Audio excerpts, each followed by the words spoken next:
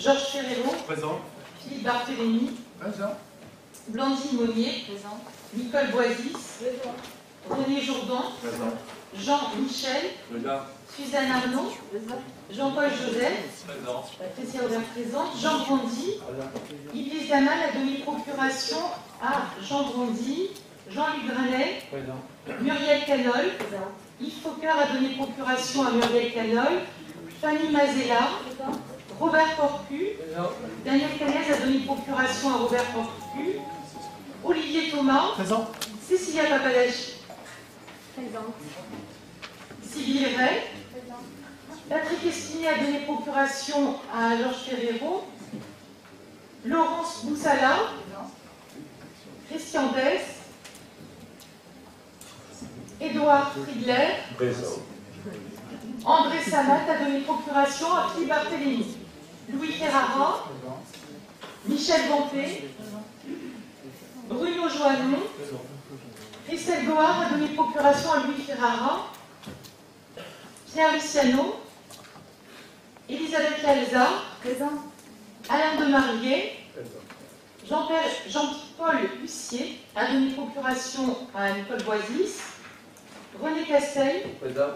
Éliane Février, Robert Déléda, Olivier Bonnet, Elisabeth Pignon a donné procuration à Jean-Michel, Bernard Cal, Jeanne Eck a donné procuration à M. Valero, Gérard Valero, Présent.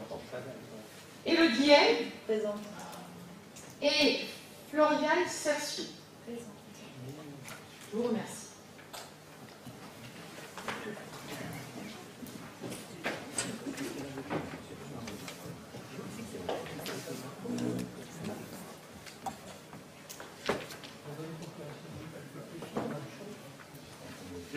On va ouvrir l'ordre du jour avec Georges.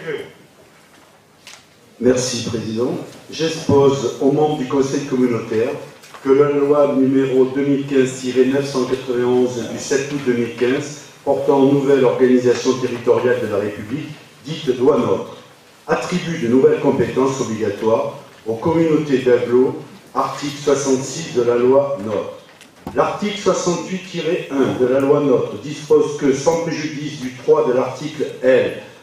5211 41.3 du Code général des collectivités territoriales, les établissements publics de coopération intercommunale à fiscalité propre existant à la date de la publication de la présente loi se met en conformité avec ces dispositions relatives à leurs compétences.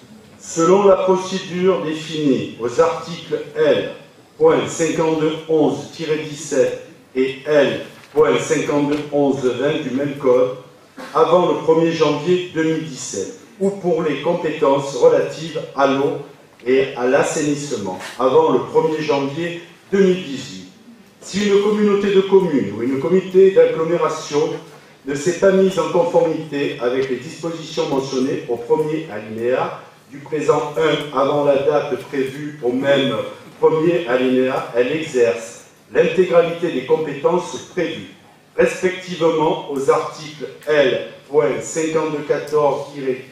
L.5214-16 et L.5217-5 du dit code, le ou les représentants de l'État dans le ou les départements concernés, procédant à la modification nécessaire de leur statut dans les six mois suivant cette date.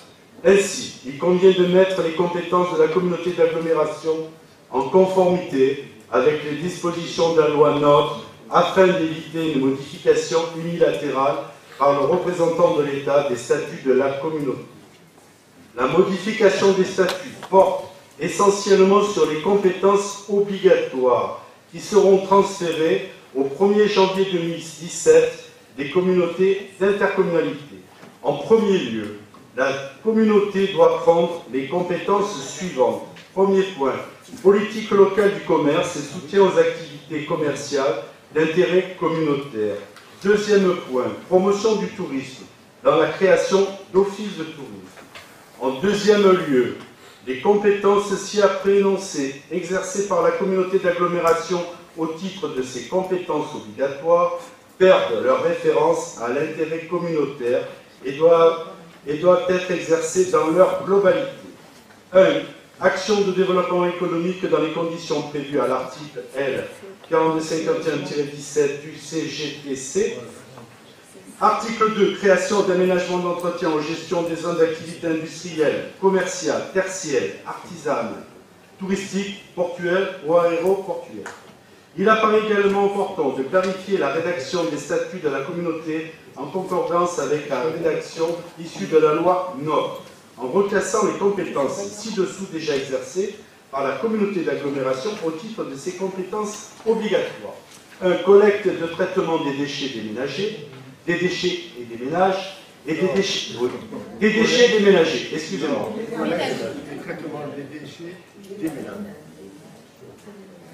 et déchets assimilés, compétences optionnelles dans les statuts actuels. Entretien, aménagement et gestion des aires d'accueil des gens du voyage, compétences supplémentaires dans les statuts actuels. Enfin, les corrections mineures sont proposées pour plus de lisibilité. Ainsi, il est proposé de placer les sentiers de randonnée qui étaient dans la compétence touristique en compétences supplémentaires, indépendants et de scinder de la compétence aménagement du territoire actuelle entre une compétence d'aménagement dédiée à la signalétique, à l'information sur le territoire et à l'aménagement numérique. Le Conseil communautaire est donc invité à approuver le projet des statuts modifiés annexés à la présente délibération. Vu la loi numéro 2015-981 du 7 août 2015 portant nouvelle organisation territoriale République et notamment l'article 66, 68, je passe vu les statuts de la communauté d'agglomération Sud-Sainte-Pomme, vu le projet des statuts modifiés annexés, considérant que la loi, je passe aussi, portant nouvelle organisation territoriale de la République dite loi NOT prévoit le transfert aux communautés d'agglomération à compter du 1er janvier 2017 des compétences suivantes. Action de développement économique dans les conditions prévues, création d'aménagement, entretien et gestion des zones d'activité industrielle, commerciale, tertiaire, artisanale, touristique, portuaire ou aéroportuaire, politique locale du commerce et soutien aux activités commerciales d'intérêt communautaire. Point 4. Promotion du tourisme, dont la création d'offices de tourisme. Point 5. Aménagement d'entretien et gestion des aires d'accueil des gens de voyage. Point 6. Collecte de traitement des déchets des ménages et déchets assimilés. Considérant la nécessité pour la communauté d'agglomération de se mettre en conformité avec la disposition de la loi NOTRe avant le 1er janvier 2017, considérant que les statuts actuels de la communauté ne prévoient pas l'exercice des compétences promotion du tourisme, dont la création d'offices de tourisme et politique locale du commerce et soutien aux activités commerciales d'intérêt communautaire, que par suite, il appartient à la communauté de prendre les titres compétences à l'application de la loi NOP, considérant qu'il convient également de supprimer dans les statuts de la communauté les références à l'intérêt communautaire pour les compétences actions de développement économique. Et création, aménagement et entretien et gestion des zones d'activité, dans la mesure où l'exercice de ces compétences est désormais appréhendé dans leur globalité par la loi NOP. Considérant que l'ensemble de ces modifications statutaires emportent le transfert des dites compétences à la communauté, ainsi que des droits et obligations attachés aux biens, équipements et services nécessaires à leur exercice. Considérant enfin que pour éviter toute ambiguïté d'interprétation du droit et permettant une visibilité des statuts de la communauté, il convient d'accorder ces derniers à la rédaction du Code général des collectivités territoriales, que notamment s'impose l'intégration dans les compétences obligatoires des compétences.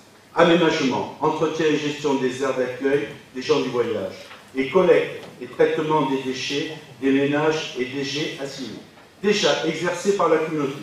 Il est à rappeler que ces modifications rédactionnelles des statuts n'entraînent aucun transfert de compétences dès lors que les compétences en cause sont déjà exercées que pour des raisons de lisibilité, il convient aussi de réorganiser les compétences, aménagement du territoire et réseau des services locaux de communication, développement du numérique. Considérant qu'en raison du basculement de la compétence promotion tourisme dans les compétences obligatoires, il convient de créer une compétence supplémentaire pour porter les actions actuelles en matière de sentiers de randonnée. Considérant le projet de statut modifié je propose au Conseil communautaire, l'article 1, d'approuver et proposer aux communes les modifications des compétences et les statuts tels qu'annexés à la présence délibération avec effet au 1er janvier 2017.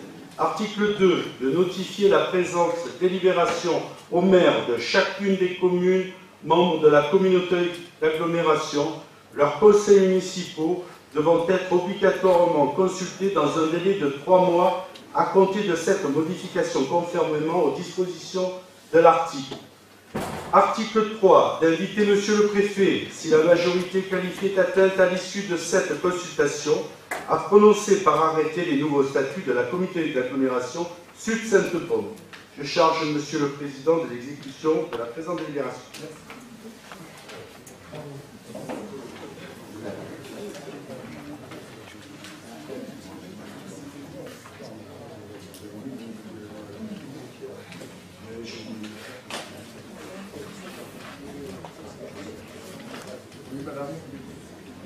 Bonjour, merci Monsieur le Président. Euh, Monsieur Ferrero, euh, je voulais juste demander, est-ce que le Conseil, avant de demander l'approbation par, le Conseil d'agglomération de- des nouveaux statuts, est-ce que vous avez une idée du, coût de, ce que tout cela peut représenter? D'autant plus qu'à la page 3, euh, nous voyons qu'il y a des scissions et, et des déclinaisons en sous-compétences, des compétences, etc. Donc est-ce que euh, nous avons une garantie que ça ne se déclinera pas en multiplication des coûts aussi, en RH, en fonctionnement, en organisation. Merci. Oui. Oui, alors, euh, Monsieur Ferrero a expliqué que les compétences relatives à l'eau et à l'assainissement euh, seraient euh, basculées à Sud-Sainte-Baume avant le 1er janvier 2018. Est-ce que euh, vous le confirmez? Parce que j'ai vu par ailleurs que le préfet demandait 1er janvier 2020. Que faut-il lire? Oui, ou entendre?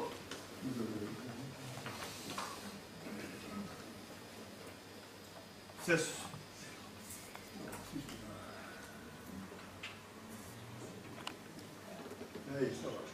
sera vraisemblablement en 2020. Ah, et là on vote pour 2018, Parce qu'il y a la possibilité de, de le faire à partir de, de- enfin, de 2018. 2018, mais compte tenu des délais, moi je pense qu'il vaut mieux s'organiser pour le faire correctement pour un 1er janvier 2020. Mais on va commencer à le préparer bien avant parce que ça ne sert à rien d'attendre 2020 pour se mettre à, préparer ce compétences. D'autant que vous l'avez vu, combien c'était difficile de passer les communautés de communes en communauté d'agglomération en même temps que la loi, que je dire, la loi. Les lois changeaient, les compétences changeaient, et vous voyez que là, on en met encore une couche, donc sans arrêt, c'est en mouvement, donc c'est extrêmement complexe.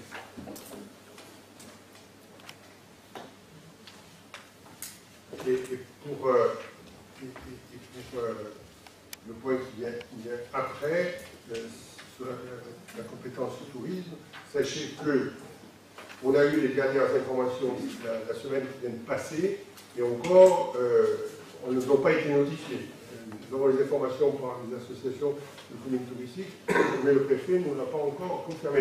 Donc vous voyez, on nous demande de délibérer sur des choses euh, qui sont encore en, en- en discussion au niveau du gouvernement et de l'Assemblée. C'est un peu compliqué. Allez, qui est contre? Abstention? Il n'y en a pas. Je vous remercie. Nous passons au point suivant. Philippe Barthélemy. Excusez-moi, et au niveau du coût Non, il n'y a pas une idée Mais, euh, écoutez, madame, euh, oui, c'est vrai, je n'ai pas répondu, mais parce que vous savez bien que quand on prend une compétence, il y a un coût, et c'est au- autant, autant d'argent en moins qui est rendu euh, aux, communes. Voilà, donc il y a un transfert des recharges et un transfert des ressources. Le Président, ça veut dire que ces transferts, les transferts portuaires, c'est-à-dire les trois ports euh, de plaisance seront transférés à la communauté d'agglomération Si un jour vous avez la réponse à cette question avant moi, vous me le dites. Pour le moment, euh, je pense qu'il y a marqué zone portuaire, il n'y a pas marqué port. Et de ce que nous ont expliqué les personnes qui viennent du transfert, il y a une subtilité qui fait que dans l'application, dans l'application euh, des règles d'intercommunalité, c'est toujours à minima que ça s'applique. Voilà, je vous la vends comme on l'a vendu. Oui, vous il y a une, euh, une, question à ce sujet d'un sénateur. Parce que nous-mêmes, on s'est interrogé, on a interrogé le préfet euh, qui a une réponse qui n'était pas tout à fait, euh, tout à fait définitive. Il répondait euh, la notion de zone d'activité portuaire n'est certes pas définie, toutefois, pour la déterminer, on retient d'une part le principe de la maîtrise d'ouvrage public, c'est-à-dire l'initiative de la collectivité, et d'autre part celui d'un aménagement aggloméré dans un périmètre en vue de réunir une pluralité d'activités. De ce fait, il serait difficile d'exclure de la notion d'activité portuaire un port et son activité portuaire qui lui est intrinsèquement euh, liée. Euh, donc c'était une réponse encore un petit peu plus, on va dire. Euh, et la question a été posée donc par le sénateur Loïc Hervé le 14 juillet 2016 euh, adressé au secrétaire d'État chargé des collectivités territoriales. La question, c'était la notion de zone d'activité portuaire ne fait pas l'effet d'une définition légale. En l'absence de circulaire préfectorale ou de débat parlementaire précisant les étendues de cette compétence, subsiste la question de savoir si les ports de plaisance sont concernés par cette disposition. Alors que la propriété lacustre de certains ports de plaisance fait l'objet des conventions entre les communes et l'État, il apparaît peu pertinent de déconnecter euh, de leur vie support la gouvernance de ces équipements dans la nature de leurs activités essentiellement de loisirs et si caractéristiques et emblématiques des enjeux identitaires de ces villes. Il lui demande de bien vouloir lui indiquer euh, si les ports de plaisance sont considérés comme des zones d'activité portuaire transférables aux EPCI au 1er janvier 2017. Euh, et donc la réponse est attendue, est attendue avec impatience. ce qu'on peut dire, puisque je pense qu'on est trois communes à cette interrogé sur la question, euh, Bandol, Sanary et Saint-Cyr. Euh, la commune de Bandol pourrait, euh, par une délibération, s'opposer au transfert de compétences, mais ce serait susceptible d'être attaqué par cette même assemblée, donc on ne le fera bien entendu pas, et ça fera l'objet, je pense, de discussions entre nous. par contre, en cas de transfert à la communauté d'agglomération, euh, il, serait possible de conclure une convention avec le PCI pour conserver la gestion communale du port de plaisance, et ça a été pratiqué déjà dans, plusieurs régions de France. Euh, donc ça, ce sont des, discussions qu'on aura certainement entre nous, mais euh, votre question concerne un enjeu majeur, bien entendu.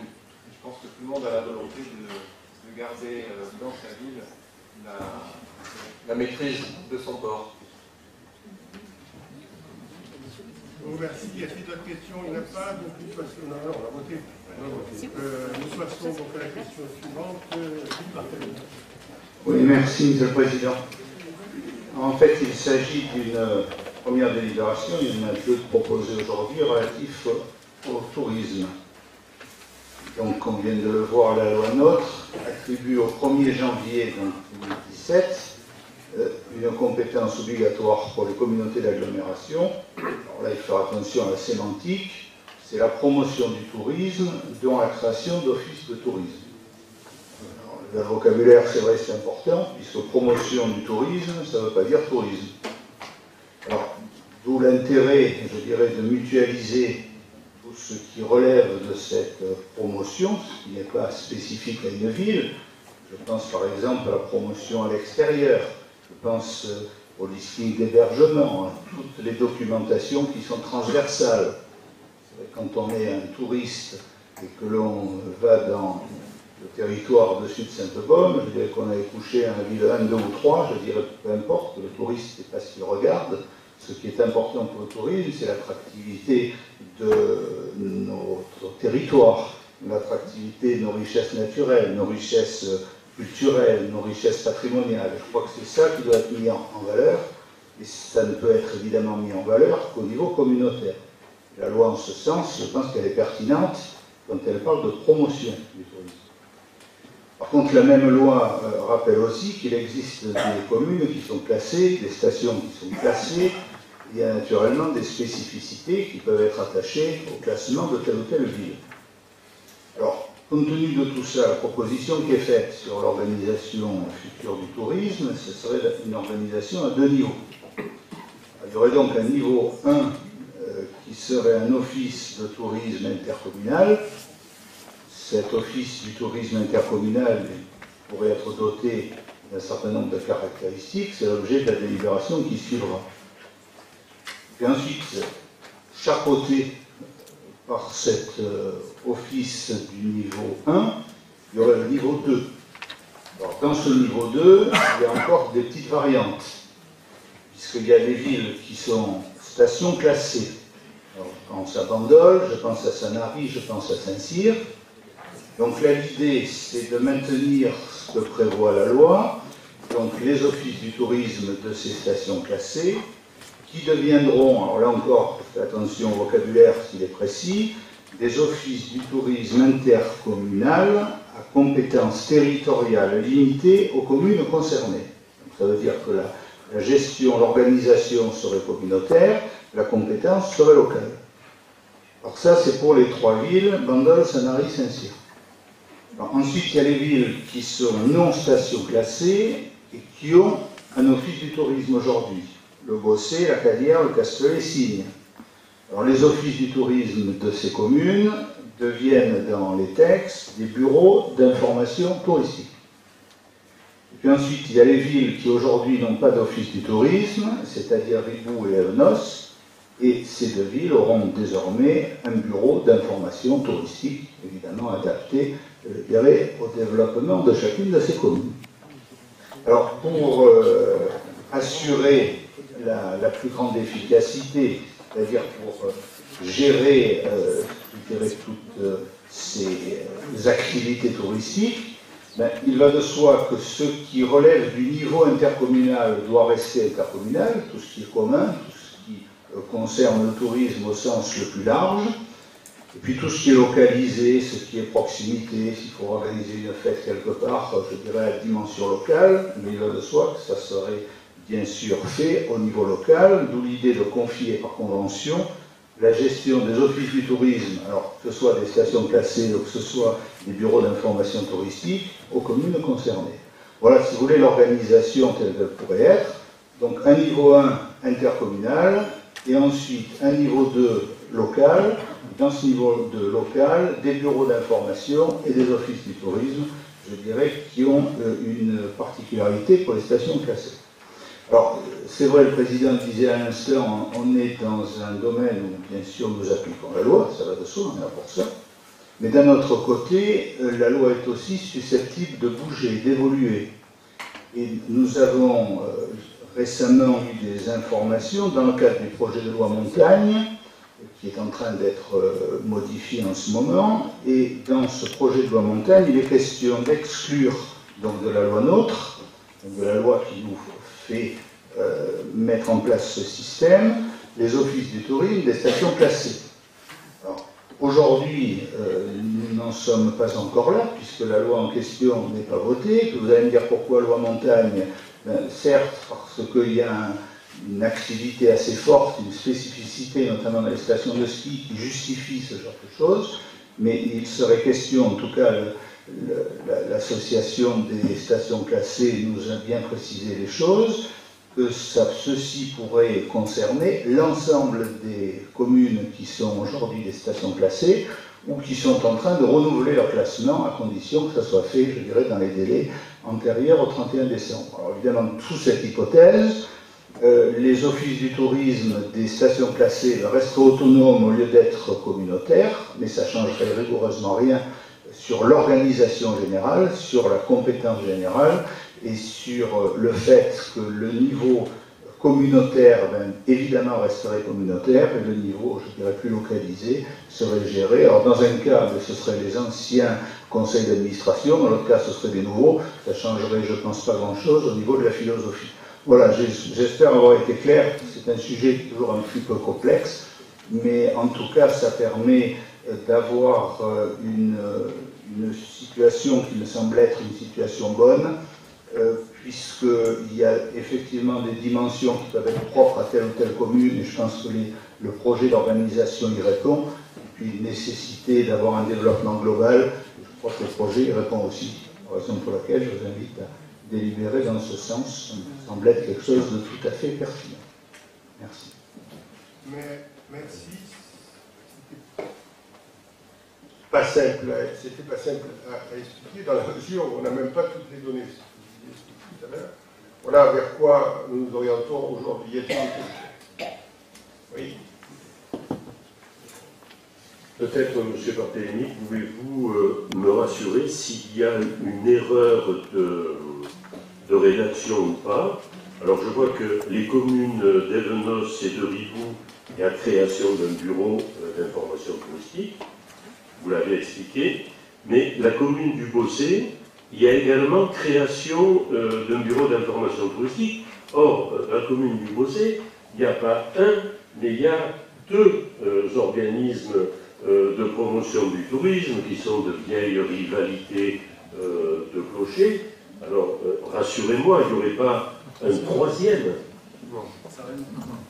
Alors, il ne faudrait pas mettre création à ce moment-là. Je, pense que M. le maire du Bossé est mieux à même de vous répondre sur ce sujet que moi-même.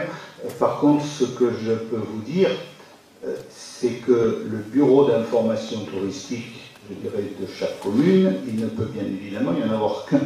Cela va de soi, puisque les textes, je dirais, sur euh, l'organisation du tourisme ne prévoient pas une pluralité d'offices de tourisme ou de bureaux d'information touristique partout. Que l'on soit à Paris, avec ses millions d'habitants, ou que l'on soit dans une commune plus petite, comme nous en avons eu dans notre communauté, que nous aimons bien. Beaucoup.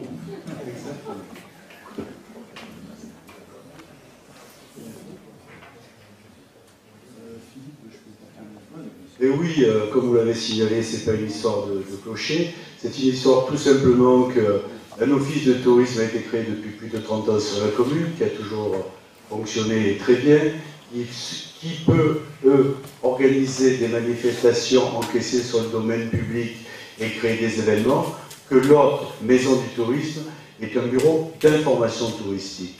Et quand vous avez vu création, ce n'est pas une création en supplément de notre office du tourisme, c'est un support d'information. Alors, qu'est-ce que, qu'est-ce que, je dois, euh, qu'est-ce que je dois entendre? Il, faut rectifier création euh, d'un bureau d'information touristique par transformation de la maison du tourisme en bureau d'information touristique. Pas du tout, non, c'est un, c'est un complément qu'ils vont apporter à la maison du tourisme. Donc c'est une troisième structure. Bien. Pourquoi pas appeler ça de troisième structure Pour une information, ce n'est pas un bureau qui sera ouvert tous les jours, il passera pour voir les informations et apporter des informations sur ce qui se fait sur l'intercommunalité. Ça, me semble assez dément. Euh, c'est bien, plus il y a de la communication, mieux c'est. On nous a reproché qu'elle n'avait pas assez dans le passé, maintenant il n'y en aura pas, pas mal. Alors, qui est. Ah, oui, madame. Mais encore une fois, excusez-moi, vous êtes sur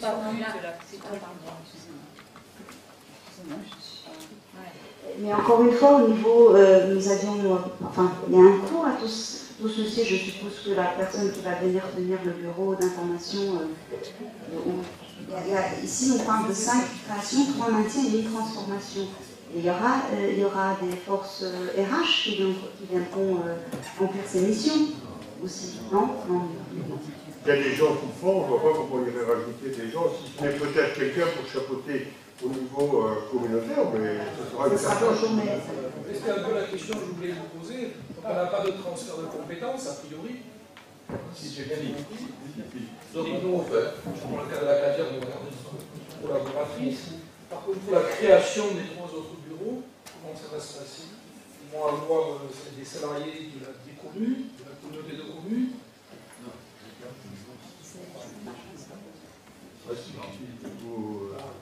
puisqu'on a parlé de la Cadière, je voudrais prendre un exemple de la Cadière où effectivement il y a déjà un, bureau d'information touristique, hein, qu'on appelle la, maison du tourisme.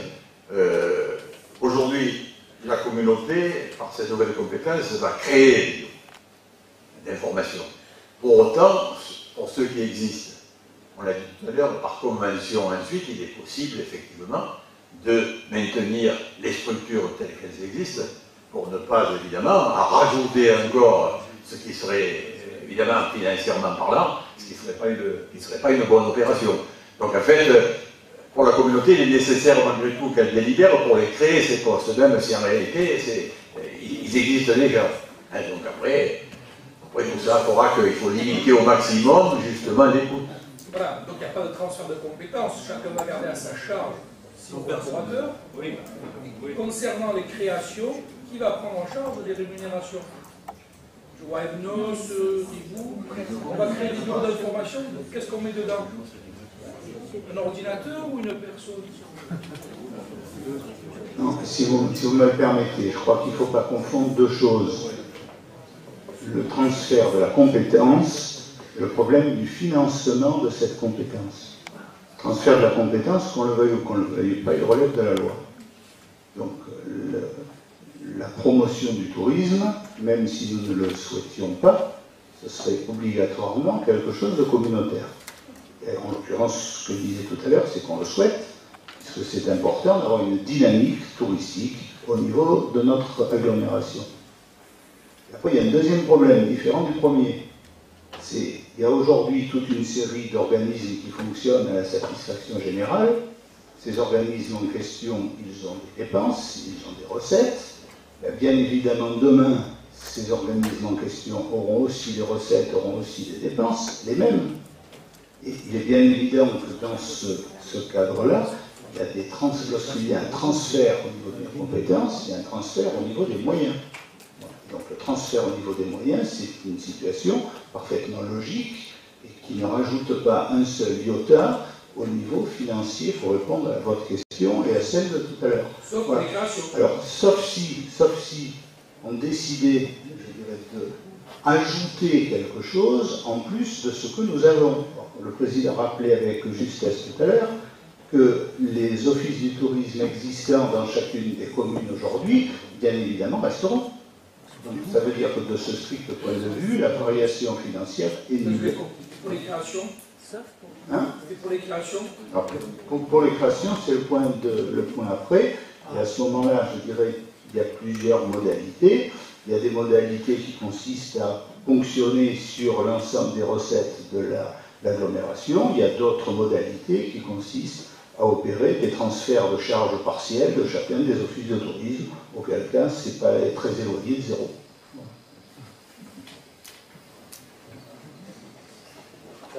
Ce qui voudrait dire qu'à Ethnos, il y aurait la création d'un office de tourisme. Un bureau d'information. C'est une création, puisqu'on n'a rien du tout. Oui ou non Oui? Ce que j'ai dit tout à l'heure, c'est que les, les, communes, je dirais qui aujourd'hui n'avaient pas d'office de tourisme, auront par définition un bureau d'office de tourisme. Mais ce bureau d'information touristique je dirais, c'est un bureau d'information touristique, il ne sera pas forcément, je dirais, doté de moyens extraordinaires et d'une ouverture 24 heures sur 24 comme dans une station classée. Je crois qu'il faut proportionner les différents euh, moyens euh, aux véritables enjeux et notamment aux enjeux qui sont des enjeux ponctuels. C'est pour ça, c'est pour ça qu'il ne faut pas, je pense, confondre la promotion globale du tourisme, parce que là nous sommes les neuf communes, je dirais, obligatoirement ensemble, et donc nous pouvons réaliser des économies d'échelle. On va, tout nous parlions de coûts. Il est bien évident que les coûts, je dirais, ne vont, ne vont que baisser. Quand nous avons aujourd'hui un catalogue qui s'appelle euh, Sanary, un catalogue qui s'appelle Bandol, un catalogue qui s'appelle Saint-Cyr, un catalogue qui s'appelle Acadière, et ainsi de suite, ben, je dirais demain, il y aura un catalogue qui s'appellera communauté d'agglomération Sud Sainte-Baume. Donc ça veut dire qu'il y a des. On sera tous les neuf. Et ça, je dirais, ça générera des réductions de coûts. Regardez, regardez par exemple le magnifique petit catalogue qui a été fait sur Odyssée. Il y a quelques semaines, ce magnifique catalogue. Odyssée, c'est bien une activité qui était à tout le monde. C'est une activité où il y a une partie maritime, une partie au pays. On est en plein dans un intérêt communautaire. Et quand vous le regardez, vous avez une déclinaison des neuf communes, tant mieux?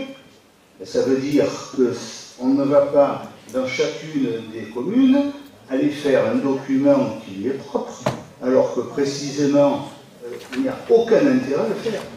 Donc c'est pour vous dire que s'il y a des éléments qui peuvent être des éléments de dépenses, il y aura aussi des éléments de recettes, la recette pouvant être évidemment une non-dépense. Donc je, suis tout à fait confiant dans la, pertinence de, cette organisation.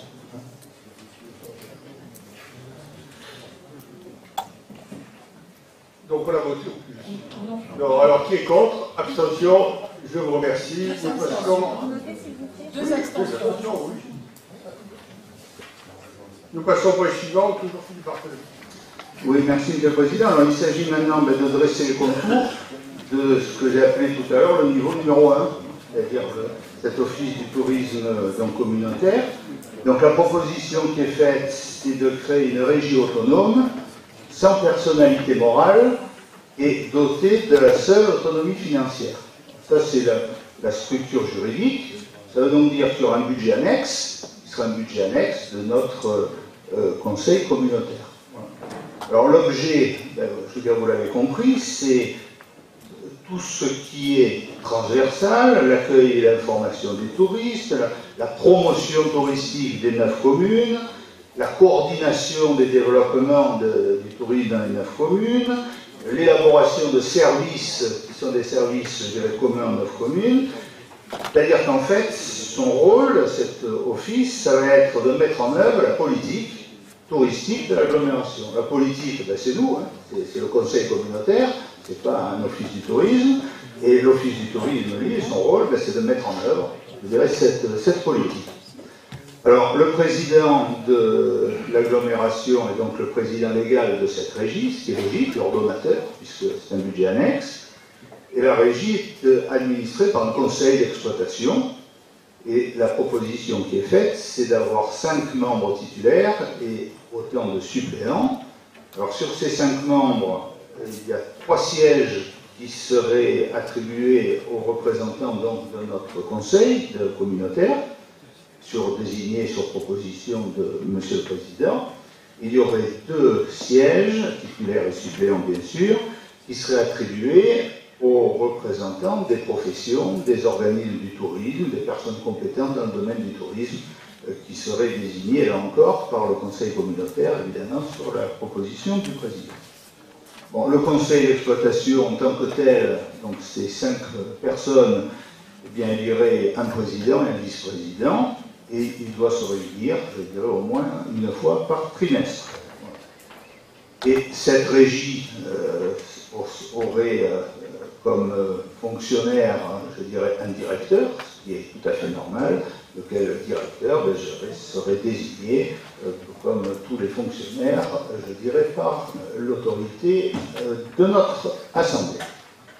Alors, comme il s'agit d'une régie autonome financière et simple, je rappelle, et je crois que c'était important pour nous tous, que le Conseil communautaire, et c'est lui et lui seul qui votera le budget en question, puisqu'il s'agit d'une régie, et donc euh, ce n'est pas le conseil de la régie qui vote son budget, c'est nous qui votons le budget de euh, cet organisme. Voilà. Euh, de la même manière, la tarification des services, la même chose, tous ces éléments-là ben, relèveront bien sûr du conseil communautaire. Et pour, et pour fonctionner, et pour fonctionner, eh bien, il y aura fera l'objet certainement d'une délibération future, euh, une convention d'objectifs, puisque je rappelle bien que la politique, c'est nous, et la mise en œuvre, c'est la régie. Donc il faut que cette régie, je dirais, fonctionne en ayant des lignes directrices, et les lignes directrices, eh c'est la convention, et la convention d'objectifs fera certainement l'objet d'une délibération ultérieure, une fois que toutes ces structures seront installées en début, je pense, d'année prochaine. Voilà simplement le détail de cette organisation. Vous l'avez dans le document joint où il y a toutes les, propositions qui sont faites sur cette organisation du tourisme au niveau communautaire. Voilà, Président, les éléments. Merci, merci. Merci. Y a-t-il des questions? Oui, je vous écoute. J'ai plusieurs questions en fait. Euh, donc, euh, ma première question est plutôt une suggestion euh, pour la démocratie, c'est que Monsieur le Président puisse laisser les gens, les personnes de l'Assemblée, éventuellement ceux qui le veulent, proposer leur candidature. Ça, c'est une suggestion et pas une question. ensuite, la deuxième question, c'est que quand à la page 4, vous parlez de la composition du conseil d'exploitation, le collège des représentants des activités, professions et organismes intéressés au tourisme et des membres qualifiés sur le territoire communautaire. C'est la définition qui est donnée. Mais sur la page 5, il est dit que euh, l'éligibilité, les conditions d'éligibilité disent euh, euh, que les membres du conseil d'exploitation ne peuvent prendre conserver un intérêt dans des entreprises en rapport avec la régie. Donc, je sais Ouais, je sais. Alors, est-ce que ça concerne les élus? Ou est-ce que ça concerne les représentants des activités? Je ne sais pas. Et pour finir, donc, euh, deux points de coûts supplémentaires, encore une fois, dans l'esprit de mutualisation de nos forces des neuf communes, c'est euh, d'abord la rémunération du directeur. Et ensuite, euh, bon, ceci dit, nous comptons sur l'éthique des membres pour ne pas être à l'image de ce qu'il y a sur toute la France, malheureusement, au niveau des remboursements de frais qui, a, qui sont prévus dans l'article 4 4.2c. Voilà, merci. Je rejoins un peu Elisabeth. Concernant donc le coût, je voudrais savoir si vous avez budgétisé donc le coût du directeur. Est-ce que c'est euh, fonction publique territoriale de catégorie A ou autre? Donc, euh, est-ce que vous avez déjà le cours en tête? Vous avez peut-être d'autres questions, je ne sais pas si je peux répondre de manière globale. Et d'autre part, effectivement, il est stipulé que seul le président va proposer des candidats donc, euh, à notre Assemblée pour être membre du conseil d'administration. Euh, ce droit appartient à chacun. S'il y en a qui veulent se déclarer candidat, ils ont bien sûr la possibilité de le faire. Il faudrait peut-être rectifier les statuts par rapport à ça, puisque ça va en contravention totale du fonctionnement de cette Assemblée délibérante. Bien, merci de vos, observations. Il est bien évident, sont des statuts types d'une régie qui ont, été, qui ont été repris, et c'est parfaitement logique que ce soit le président qui fasse des propositions, mais il est bien évident que les personnes qui pourraient éventuellement ne pas agréer sur ces propositions bien évidemment la liberté de se porter candidat. Donc de ce point de vue, soyez complètement rassurés. Euh, pour ce qui concerne la dimension budgétaire, bien évidemment, la réponse à la question c'est non, dans la mesure où il s'agit de quelque chose qui ne pourra exister qu'en 2017. Nous n'avons pas encore voté le budget 2017, pas encore non plus le budget supplémentaire 2016, donc à l'heure où nous parlons, votre question, bien évidemment, n'a pas le, sens, je dirais, qu'il conviendrait. Euh, en ce qui concerne la, dernière question sur euh, les conflits d'intérêts, il s'agit simplement de conflits d'intérêts, il ne s'agit pas du, fait que les personnes en question ne sont pas membres de, ces activités euh, qui sont des activités liées au tourisme. Et vous savez par exemple, madame, en tant qu'élue euh, saint-syrienne, que dans le cadre de l'EPIC, qui est un office du tourisme aussi, il y a un conseil d'administration à l'intérieur duquel ben, se trouvent des représentants des logeurs, des hébergeurs, des restaurateurs je dirais que c'est tout à fait logique dans une activité touristique que nous soyons éclairés par les professionnels. Seule chose qui est interdite, bien sûr, c'est à ce que le professionnel en question ait un intérêt dans l'activité, mais il va de soi que ce n'est pas le cas. Moi, je peux vous rassurer donc aussi bien les uns que les autres sur ces divers points. Je souhaiterais euh, quand même vous répondre, M. Martini. Donc, on vote des statuts qui prévoient la création d'un poste de directeur, mais on se préoccupera après du coup. C'est obligatoirement le cas, monsieur, parce que ce que nous votons ici, je proposé au vote ici, c'est l'organisation à compter du 1er janvier 2017. Oui, mais bon, donc un prévisionnel, on aurait pu avoir un prévisionnel. Mais non. Donc voter, créer, et on verra après. En ce qui concerne le régime financier et comptable de la régie, dans les documents qui nous sont remis, donc il y a marqué qu'il y aura une dotation initiale pour la régie, ce qui paraît d'ailleurs euh, complètement cohérent. Et dans la seconde partie, en ce qui concerne donc le budget, euh, ce sera en fait une fois que, si j'ai bien suivi, hein, parce que au niveau de, l'échelle de création de postes, de conseil d'exploitation, de directeur de la régie, tout ce petit monde nommé par le président de l'agglomération, en définitive, on a un peu de mal à s'y retrouver. Donc, ils mettent simplement qu'il y aura euh, une dotation initiale, donc j'ose imaginer qu'avant euh, de, rédiger en fait cette mise en place de régie, on a quand même une idée euh, de la dotation au moins initiale, puisque en ce qui concerne le budget dont la régie aura besoin, ce budget sera défini une fois que le conseil d'exploitation, qui lui-même aura été nommé par le président de l'agglomération, qui lui-même aura nommé un président et un vice-président du conseil d'exploitation, tout ça sous la direction du directeur de la régie qui aura lui-même été nommé par le président de l'agglomération. Je vous imaginez qu'il y a quand même une étude qui a été faite et une, moyenne. Il y a aussi, l'obligation de mettre ça en place avant le 1er janvier, ça paraît cohérent. Mais euh, après, pour tout ce qui est détaillé dans les documents qui sont remis, c'est un petit peu, un, petit peu difficile de s'y retrouver. Euh, un autre exemple, le comptable de la régie, les pièces justificatives des recettes et des dépenses sont consultables à tout moment dans le bureau du comptable par le directeur de la régie ou le président de l'agglomération. Est-ce que ça signifie que euh, tous ces documents seront fermés euh, à l'ensemble des conseillers ici présents Est-ce qu'il y aura une possibilité de voir un petit peu ce qui se passe, de voir comment ça fonctionne pour essayer de, bah, de mieux comprendre? Et en ce qui concerne la rémunération du futur directeur, qui sera donc nommé par le président de l'agglomération, euh, pour ce qui est également du conseil d'exploitation, il y aura donc quatre réunions par an. Est-ce qu'il y a absolument nécessité euh, de passer par une rémunération Comment ça va être mis en place Voilà. Oui, madame, je comprends tout ce que vous dites. Par contre, par contre, je, voudrais quand même essayer de vous rassurer. Il y a plusieurs façons, plusieurs façons de gérer un office du tourisme, notamment un office du tourisme communautaire. Il y a une modalité qui pourrait dire il y a une association, interdit. Ça voudrait dire que le conseil communautaire, il serait informé de rien du tout. Pense que ce n'est pas ce qui a été choisi. Il y a une deuxième manière, ça aurait pu consister à dire on va créer un établissement public, industriel et commercial. Ça aurait été possible aussi. Ça aurait simplement signifié que le directeur aurait été l'ordonnateur.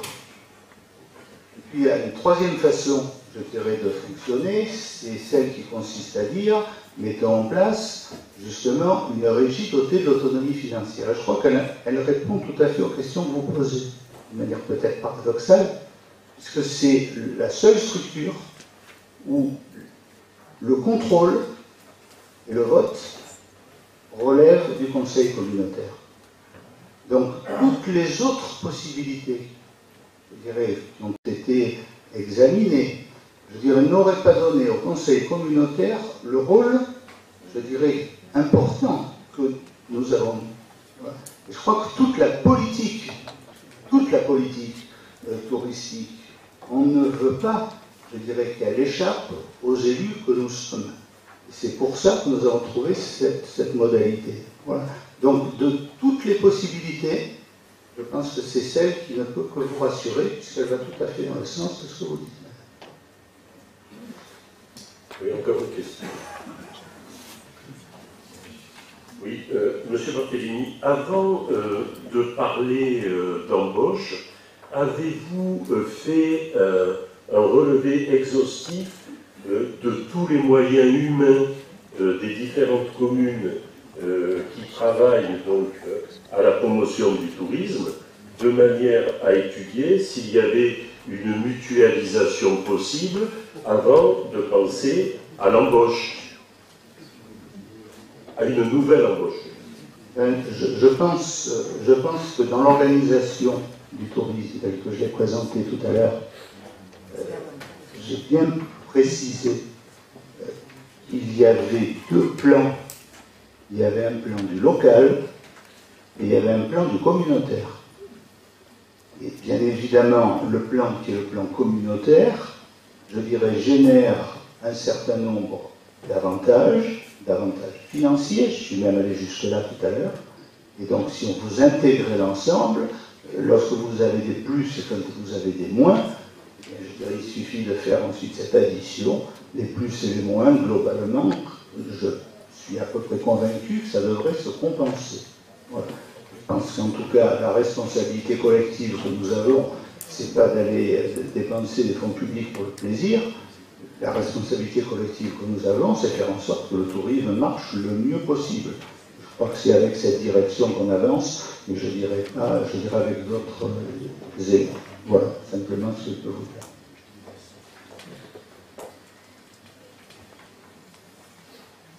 Bien. Qui est contre? Abstention 1, 2, 3, 4, 5. Je vous remercie. Nous passons au point suivant. La motion attribuée. Nicole voici. Merci, Monsieur le Président. Euh, donc, euh, ça sera court et précis parce que donc euh, l'enquête publique sur la réalisation de la ligne nouvelle a été lancée. Le tracé actuel du projet ne répond absolument pas aux attentes de la population locale. En effet, outre son coût faramineux, le projet aura des conséquences discutables sur l'environnement. De plus, l'implantation de cette ligne nouvelle ne profitera pas au plus grand nombre des habitants de la communauté d'agglomération, qu'il faudrait, surtout des lignes qui améliorent les, TER. Et donc, voilà, nous, en tout cas au Castellet, nous avons voté contre. Et voilà. Alors, nous, vous demandons, si vous voulez bien, prononcer défavorablement sur ce projet. C'est clair et précis. Je pense que tout le monde a vu le. Oui Je prendre la parole, donc je rejoins tout à fait sur euh, cette motion. Simplement faire un bref historique de ce qui s'est passé depuis euh, plusieurs années. Au départ, on avait un projet qui s'appelait la LGD PACA. Il y a eu donc une réaction, surtout dans l'Ouest Var, à la fois euh, des viticulteurs et des habitants et des élus contre ce projet. Donc, qu'est-ce qu'ont fait, les pouvoirs publics Tout simplement, ils l'ont saucissonné. Ils l'ont saucissonné pour les tactiques hein, de guerre, pour diviser les opposants qui s'étaient coordonnés entre les trois départements, le Bouches-du-Rhône, le Var, les Alpes-Maritimes, y compris avec les élus. Donc on a saucissonné, donc on a aujourd'hui trois priorités qui sont, qui sont mentionnées donc, par les pouvoirs publics, hein, qui ont été décidées lors du copil euh, chez le préfet de région donc à Marseille. Vous avez donc la priorité 1 qui concerne essentiellement donc, les Bouches-du-Rhône et les Alpes-Maritimes, un peu le Var avec euh, le quadruplement de la ligne à la, à la Pauline. Vous avez la priorité 2, donc la première priorité c'est Horizon 2030. Oui, mais la première priorité prend les Voilà, priorités. je vais venir après justement. Voilà, priorité 2, c'est euh, après 2030, ça concerne le Var. Là, on est vraiment impacté puisque c'est la liaison Aubagne-Toulon et le Mi-Calme. Et enfin, vous avez la priorité euh, 3, qui est donc Toulon-le Nuit, pour terminer donc euh, la liaison, qui est l'horizon 2050. Donc vous l'avez dit, effectivement, c'est un projet dispendieux, puisqu'aujourd'hui on parle de 25 milliards. Je pense que d'ici que ça se fasse, on sera plutôt à 30 milliards. Quand on parle d'une horizon à 2050, les euros ils augmentent, ils ne diminuent pas avec l'inflation, bien évidemment. Donc ce sont nos enfants et nos petits-enfants qu'on va faire, Et, et on va les faire modes de supporter. transport auront peut-être Voilà. là. Alors ce qu'on a besoin, effectivement, c'est, vous l'avez dit, vous l'avez rappelé brièvement, c'est de pouvoir arriver à l'heure entre Marseille et Toulon. Tout à fait. Voilà. Et pas de joindre Paris à Nice en s'arrêtant donc à Marseille et Toulon. C'est-à-dire deux gares qu'il va falloir faire qui ont un coût d'un milliard chacune, sous Marseille-Saint-Charles et à Toulon. Donc c'est de l'argent public. Donc on nous parle d'une expropriation donc, en 2019. Et surtout, donc, il y a eu un copil important la semaine dernière. Il n'y avait aucun élu varois présent. Aucun n'avait été invité. Voilà. Personne n'a su l'existence de ce copil, mais de toutes les façons, tout le monde sait, puisque nous, nous avons pris la délibération, Castellet, et tout le monde, je pense, euh, euh, sait ce projet. Bon, vous l'avez très bien présenté, mais bon, on ne peut pas être pour, enfin. Non, on ne peut être euh, raisonnablement que contre, pour plusieurs motifs, hein, euh, qui sont environnementaux, qui sont aussi euh, le coût, c'est qu'on ne va pas résoudre les problèmes du quotidien euh, des, des- des habitants du Var, hein, notamment. hein. Donc ce que je souhaiterais par contre, hein, c'est que le président, qui est aussi conseiller départemental, puisse présenter une motion analogue au conseil départemental, puisqu'il a un droit de proposition, de le faire, puisque le conseil général du Var finance les études et finance bien entendu ce projet. C'est-à-dire qu'on ne peut pas à la fois prendre motion contre et voter un budget au conseil général qui comporte des financements sur cette ligne. Il y a quelque chose que je ne comprends pas. Donc ce que je souhaiterais, c'est que le président, ici présent, puisse présenter à la prochaine assemblée départementale une motion analogue d'opposition à ce projet.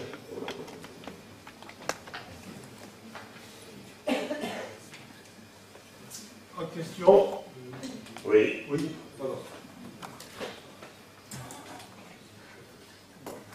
Merci.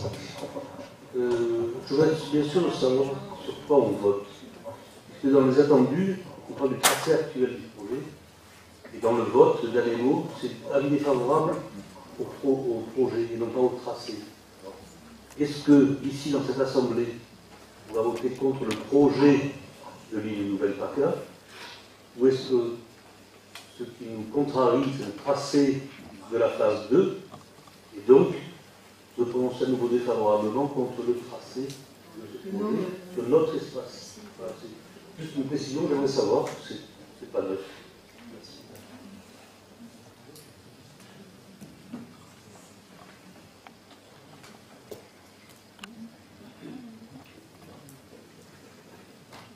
Il y avait une question? Oui, Oui, alors, euh, d'abord, je, prends acte euh, de l'action euh, du maire euh, d'Elenos, Madame Monnier, qui a attaqué au tribunal administratif la décision de plan de débat public sur la ligne nouvelle. Et je prends également acte avec satisfaction de cette deuxième motion de Sud Sainte-Baume, qui, je l'espère, sera votée cette fois-ci par l'ensemble des maires. Il, me semble qu'il faudrait également euh, parler euh, de notre opposition à la méthode de concertation. Les principaux arguments de SNCF Réseau de France, encore réitérés dans un courrier reçu le 21 septembre 2016, sont que l'État a validé la phase 1 du projet le 7 mai 2014 et la phase 2 le 13 avril 2015. Et en fait, l'État a validé le projet de ligne nouvelle euh, PCA sur des tracés qui n'ont pas été modifiés euh, de la LGV.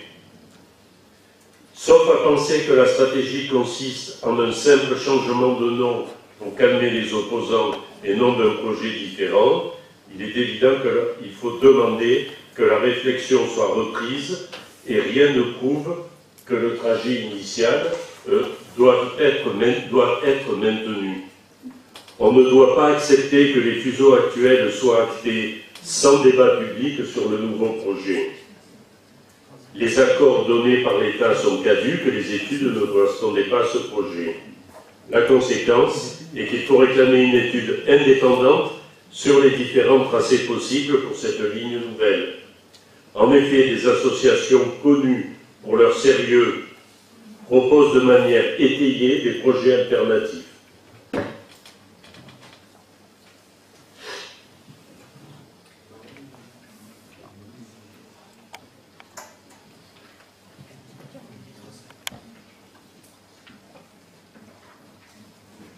Je continue. Il n'est pas acceptable que SNCF Réseau les balaye d'un revers de main. Allez, on vous écoute, Très bien. On peut lire dans ce même courrier que j'ai évoqué précédemment que les zones de dépassement de la ligne historique ne leur paraissent pas exploitables. Et je voudrais vraiment que vous, que vous écoutiez cette phrase, hein, ne leur paraissent pas exploitables. Cette étonnante légèreté est insupportable. Au moment où l'on risque de s'endetter sur des générations, SNCF Réseau ne fait pas appel à une étude, mais à une impression. Nos grands élus ne doivent pas tolérer cette désinvolture. Je rappelle que la région a voté le 24 juin 2016 un crédit de poursuite d'études préalables et pour l'enquête publique d'un montant de 4,5 millions d'euros. Après tout, dans la mesure où les collectivités territoriales mettent la main à la poche pour financer largement et plus que prévu ces études, il devrait vous être possible d'interpeller ces collectivités qui sont dirigées par les amis politiques de membres parmi les plus influents du bureau de Sud Sainte-Bonne. Je pense à minima au président et au premier vice-président, parce qu'ils ont affiché leurs étiquettes politiques en se présentant victorieusement aux élections départementales. Une clarification auprès du président de région me paraît des plus urgentes. En effet, il accusait il y a peu de temps encore les résistants de tout poil qui se mobilisent pour des raisons politico-politiciennes plus que pour des raisons louables. Il est clair que vous devez faire savoir à M. Estrosi qu'il ne peut vous classer dans cette catégorie et qu'il doit enfin vous recevoir et vous écouter. Les habitants de Sud de Sainte-Bonne vous jugeront à votre détermination. On déplace le débat, M. Fiesler. Le, le, débat est déplacé parce que ce qu'on voudrait savoir pour tous les viticulteurs qui sont présents ici, par exemple, si ce projet va exister ou pas, si ce tracé va être abandonné ou pas. C'est ça qu'il faut. Et là, pour une fois, je pense qu'on était tous d'accord. Je crois mêler un débat politique à ça, c'est, crois que c'est pas le, c'est dommage, c'est dommage. Oui, je, je, partage, je, partage, votre point de vue. Euh, c'est complètement déplacé que de mettre ça sur le tapis de la politique partisane. Parce que que je sache, actuel président de la région est d'un bord, le précédent était de l'autre bord, et ils avaient tous les deux gouvernement la même position. Donc, euh, ce n'est pas la peine de rentrer dans, dans, dans ce débat-là. Je crois qu'aujourd'hui, tout le monde est d'accord pour dire que l'ensemble des tracés qui nous avaient été proposés, si on peut dire proposés, qui nous avaient été montrés, euh, étaient, étaient, sont une catastrophe pour notre, pour notre territoire. Moi, je, je comprends que le maire de Nice il ait envie d'avoir le TGV dans sa gare. Ça, je le comprends. Euh, quand on est après à Marseille ou à Toulon, le TGV y est déjà. Et donc, euh, euh, je, pense que des informations que nous avons pu glaner ici ou là, je dis glaner parce qu'on n'est pas plus au courant que vous de certaines choses, quelquefois même après vous. Quand je dis après vous, je pense à ceux qui sont notamment dans le collectif. Je pense qu'à l'origine, euh, le, le, tracé, avant qu'on vienne nous le tracé était euh, le long de la, nationale, de la, de la 8 sur euh, le Haut-Var, et que je pense après, vous allez rentrer dans effectivement un, autre débat qui n'était pas un débat politique, mais c'était peut-être quelque chose entre les deux. Et, aujourd'hui, on, est toujours contre ces tracés dévastateurs c'est évident. Mais euh, la, la, tactique a été d'abord de montrer des, plusieurs tracés dévastateurs, de mobiliser tout le monde contre, puis après on a retiré un, on a retiré deux, et en même temps on élaguait les, euh, les opposants. Et, et, in fine, la dernière opération consiste à dire on fait ça par tronçon, donc euh, comme ça on calme d'un côté en se disant ceux-là ils vont, vont pas s'énerver parce que ça sera dans le futur. C'est de la manœuvre de la manœuvre euh, habituelle qui euh, nécessite pas d'être un la, pour, la, comprendre. Néanmoins, je pense qu'aujourd'hui, tout le monde est d'accord pour dire que les tracés ne nous conviennent pas et que c'est cette chose-là que nous manifestons aujourd'hui. Qui est, d'accord pour cette motion contre les tracés Donc vous êtes OK pour euh, soutenir cette position au niveau du conseil départemental? Mais, mais vous occupez pas de ce que je fais au conseil départemental, c'est pas ici que ça se décide, madame. Non, mais c'est juste, c'est juste, c'est une question. Vous m'énervez pas, je vous demande si mais je ne mis en place euh, aujourd'hui, est-ce que vous défendrez également, avec autant de vigueur et de détermination, comme vous êtes capable de le faire, la même position au conseil départemental? C'est légitime. Madame, vous viendrez assister au conseil départemental et vous verrez ce que je dis ou ce que je ne dis pas, ce que je fais ou ce que je ne fais pas. Pour le moment, nous sommes ici au conseil communautaire. Alors, euh, je vous pose une question. Je vous propose une motion avec mes collègues donc, euh, ici. Est-ce que vous êtes pour ou contre cette motion? Qui est pour? Voilà. Qui est contre? Abstention Il n'y en a pas. Je vous remercie. Alors, débat pour rien. Non, vous ne répondrez pas à la question. Ça, ça c'est votre avis, un débat pourri. hein. Oui, euh, moi je vais vous proposer, disons, euh, c'est des contrats d'affermage des services publics pour l'assainissement et pour l'eau, comme c'est exactement la même chose, je vous propose de vous présenter les deux ensemble. Le contrat d'affermage, il arrive à échéance le 25 novembre 2016. Et il apparaît nécessaire, afin que soit assurée la continuité des services publics d'assainissement, collectif de la zone et de l'eau, du plateau de signe de prolonger ce contrat par voie d'avenant pour une durée de 1 an et 36 jours, soit au 31 décembre 2007. Voilà. C'est pour les deux délibérations.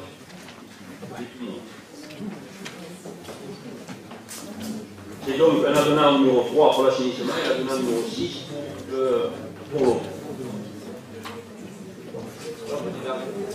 Monsieur Michel. Je, je voudrais profiter euh, de, ces, de ces propositions d'avenant euh, pour rappeler, je me le suis fait préciser tout à l'heure, que les compétences de l'eau et de l'assainissement basculeront au plus tard le 1er janvier 2020 à la communauté d'agglomération. Alors, on a des situations euh, complètement disparates. Pour l'eau, on a euh, des DSP et des régies. Le prix de l'eau varie de 0,88 euros à 2,34 euros le mètre cube. Pour l'assainissement collectif des CIVU, on a des affermages allant de 1,49 euros. Vous allez voir pourquoi je dis ça. À 2,69 euros. J'ai une question à poser. Pour l'assainissement non collectif SPANC, les problèmes prix-service sont quatre fois plus élevés que la moyenne du Var et parmi les plus élevés de France. La politique que Sud Sainte-Baume doit mettre en œuvre consiste, je pense que vous en serez d'accord, clairement à une diminution des coûts et avoir les services les meilleurs possibles, grâce à l'effet de volume. Alors, je, là, je, suis content, je suis arrivé euh, à faire rire certains d'entre vous. Donc, mais peut-être que, laissez-moi finir, peut-être que les usagers et les contribuables y trouveront euh, cette attitude filmée, que nous ne manquerons pas euh, de mettre sur le site, ils trouveront peut-être cette attitude assez cavalière.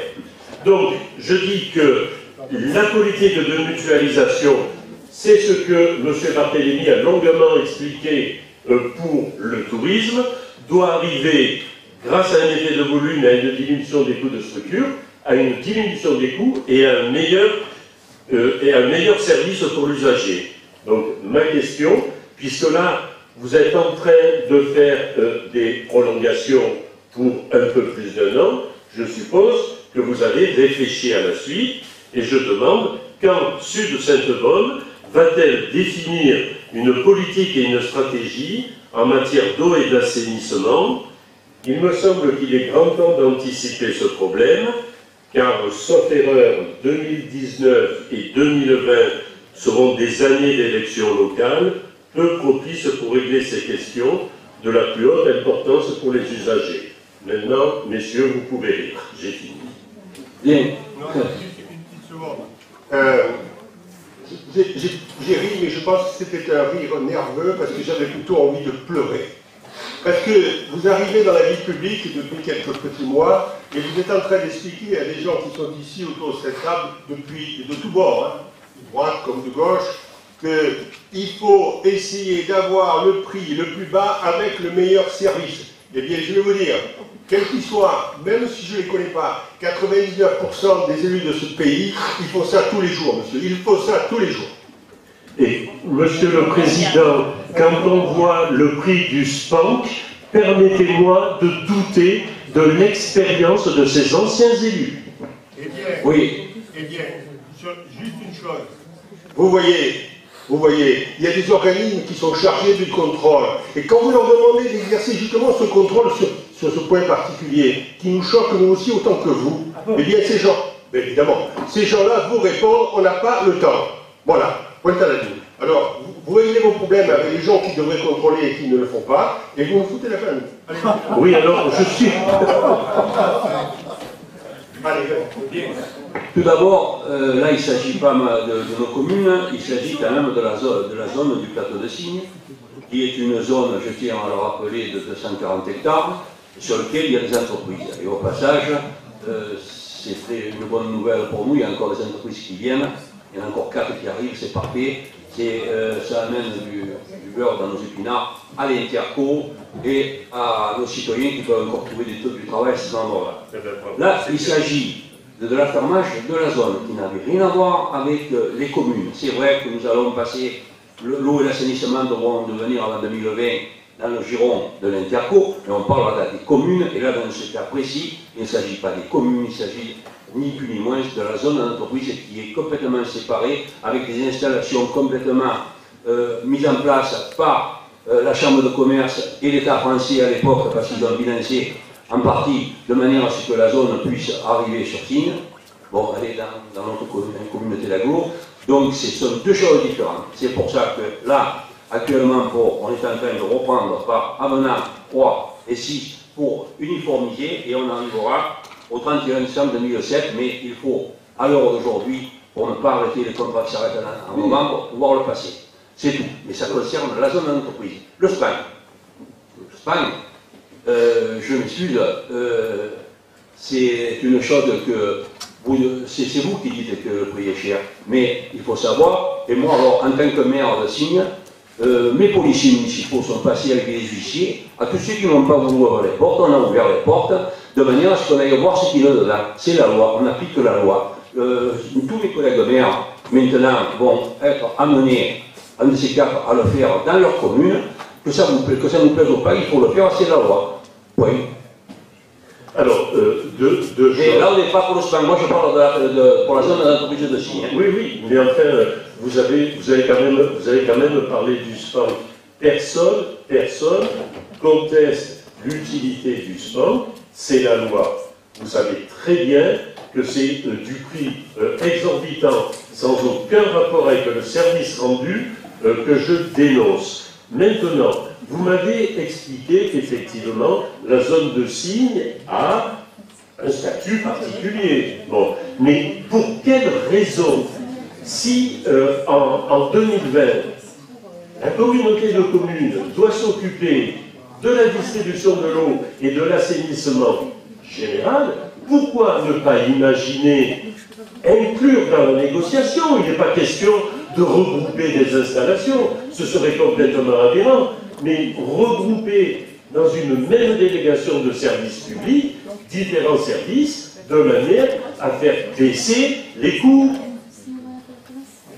Je ne vois pas pourquoi c'est impossible. Mais, mais je pense que vous n'écoutez absolument pas. Vous écrivez vos questions avant, vous vous écoutez. J'ai cru quand même que c'était assez clair. Euh, la- la- le passage de l'eau et l'investissement dans cette communauté sera le même que dans les autres communautés de France qui ne l'ont pas encore pris en, en- en responsabilité. Et à ce moment-là, même bien avant, puisqu'on va y commencer très tôt, on va travailler parce que la disparité, elle est, énorme. Il y a des stations d'épuration, des endroits qui fonctionnent d'une certaine façon de notre- dans d'autres endroits. On va avoir quelqu'un qui va nous aider à monter euh, l'appel d'offres. Et évidemment, évidemment, on va essayer d'avoir les meilleurs prix. Mais je vous rappelle que dans cette même assemblée, quand on parle de mutualisation, il y a certains qui nous disent ah non, il ne faut pas faire de la mutualisation. Mais la mutualisation, c'est le premier moyen pour essayer de faire des économies. Alors, commençons pas à mettre la charrue avant les bœufs. Pour le moment, on a un problème à régler d'urgence à- sur la zone de Chine. On règle ce problème. Et avant le 1er janvier 2020, tout sera en ordre dans le meilleur des mondes, sûrement, pour régler ce problème. Et sachez qu'on a le même problème sur, les ordures ménagères. Il y a une disparité totale. On est en train d'y travailler depuis des mois pour essayer de faire en sorte qu'il y ait deux zones et pas 56 zones comme c'est le cas actuellement. C'est très compliqué parce que les services ne sont pas les mêmes, les attentes des maires ne sont pas forcément les mêmes, les attentes de la population et les comportements de la population ne sont pas forcément les mêmes, et que ce n'est pas avec euh, des grands numéros en séance de conseil communautaire que les problèmes se règlent. Ils se règlent ailleurs en travaillant. Alors, abstention, Galati. Oui, alors si se règle, si se règle ailleurs, Abstention. si vous aviez Ah ouais, ça va. monté des commissions, Alors, abstention, il y en a pas. Vote contraire, il y en a trois. Je vous remercie. Nous passons au point suivant. Allez, Pour les deux points. Pour les deux points. les deux points. Madame Arnaud. Merci, Président. Ça va, il passe. Et Il s'agit de l'adhésion au contrat de groupe d'assurance des risques statutaires. il y a Ferrero qui de rigole comme un dessus. Le centre de gestion de la Fondation territoriale du Var avait lancé une procédure lui permettant de souscrire pour notre compte un contrat d'assurance statutaire garantissant les frais à sa charge. Si vous n'écoutez pas, vous ne comprendrez rien. Et comme d'habitude, oui, pardon. Merci Jean. Une procédure lui permettant de souscrire pour notre compte un contrat d'assurance statutaire garantissant les frais à sa charge, en vertu de l'application des textes ré- régissant le statut de ses agents. Le président expose que le centre de gestion a par la suite communiqué les résultats de la consultation. Il est donc proposé d'accepter la proposition retenue et exposée dans le corps de la délibération de Sofaxix, courtier, gestionnaire du contrat groupe et alliance vie assureur. D'autoriser le président à adhérer au contrat groupe, de signer les conventions en résultant et tout acte y afférent, d'inscrire les crédits prévus à cet effet au budget.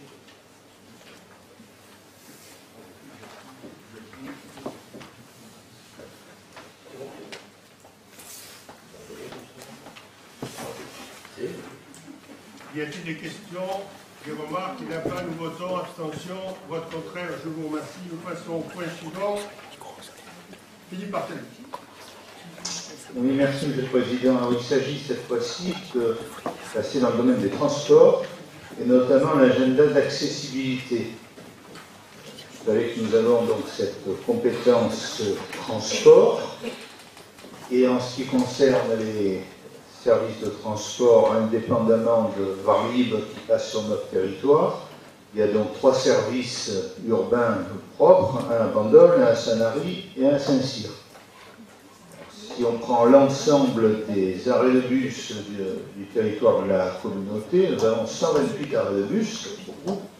Il y en a 31 qui sont des arrêts de bus en propre, qui ne servent que pour nous. Les 97 autres sont communs au réseau Varlib et au réseau des euh, différentes villes de notre communauté.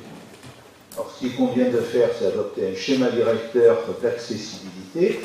C'est donc la forme d'un agenda d'accessibilité, un agenda programmé. On doit s'engager à faire en sorte bien, que sur tous ces arrêts de bus, il puisse y avoir, je dirais, l'accessibilité nécessaire.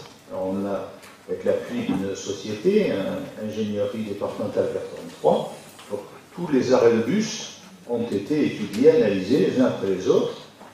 Il y en a 51 qui ont été considérés comme étant prioritaires. Sur ces 51, il y en a 22 à Bandol, il y en a 18 à Sanary, il y en a 11 à Saint-Cyr. Alors sur ces 51 arrêts euh, types, on a enlevé bien évidemment ceux qui relèvent de l'agenda d'accessibilité du département. Quand il y a les deux qui interviennent, c'est le département qui s'occupe de l'accessibilité.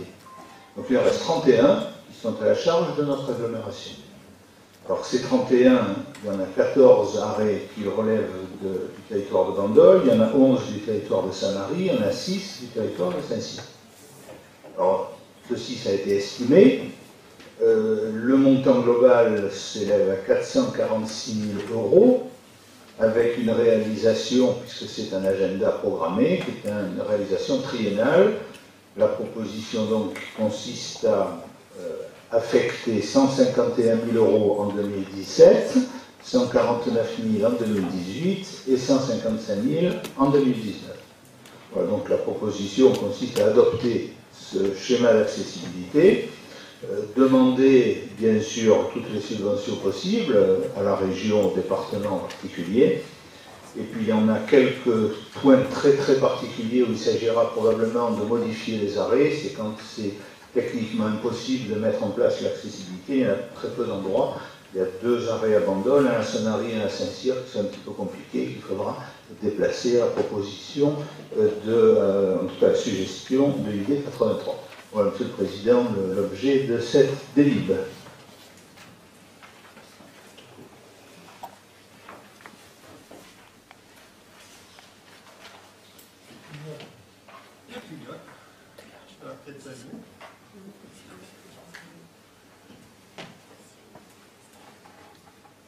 Ça marche.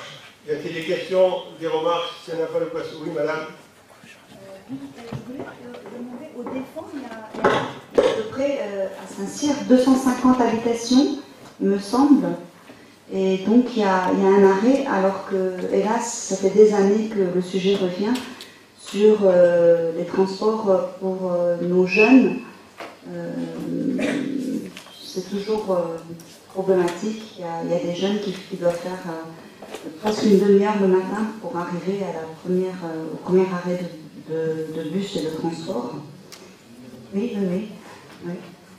Et, l'été, pareil, pour les plages, il n'y a, rien pour les jeunes. Je voulais faire cette remarque pour encore et encore.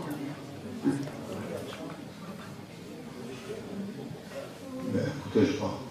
On dirait peut-être les choses indépendamment, mais en tout cas, c'est quelque chose, euh, je dirais, qui me choque profondément. C'est la première fois qu'on me fait cette euh, réflexion. Je suis un petit peu surpris, madame. Mais en fait, je dirais que ça concerne, je pense, la ville de Saint-Cyr. Donc on pourra l'évoquer indépendamment du conseil communautaire. On a voté, non Non, abstention, vote contraire, une abstention, vote contraire. On passe au point suivant. Jean-Paul Joseph.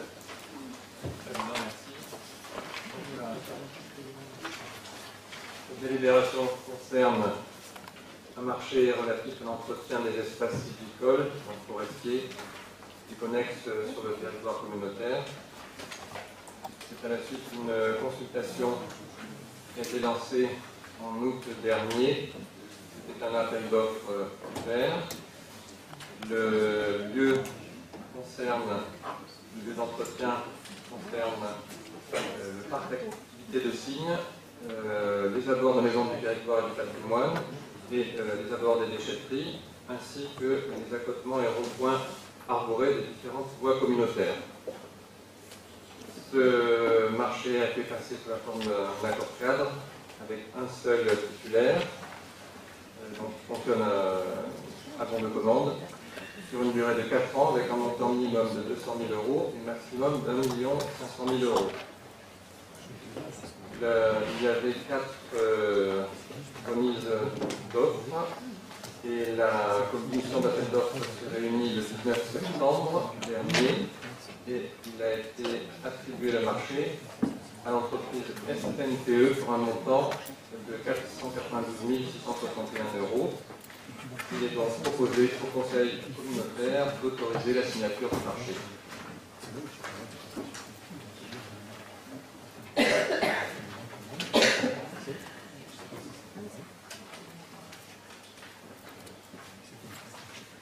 Je vous remercie. Il y a des questions Oui, madame.